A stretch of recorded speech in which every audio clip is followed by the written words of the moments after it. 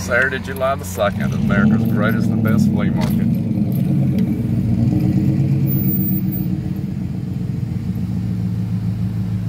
Morning, Jim. James.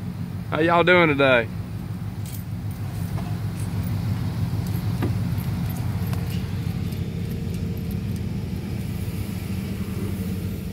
Good number of people set up out here this morning.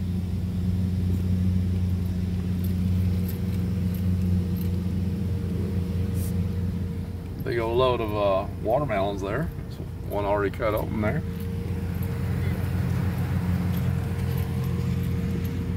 People are setting up on both sides of the flea market here.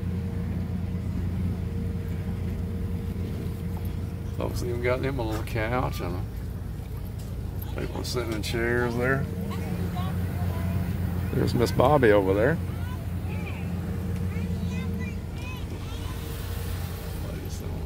over there.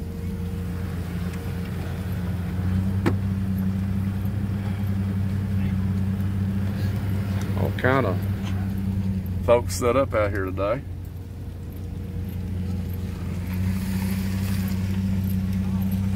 Get a chance, come on out to America's greatest and best flea market on Saturday morning. Man's getting his grill set up right there. He's fixing to start smoking some meat.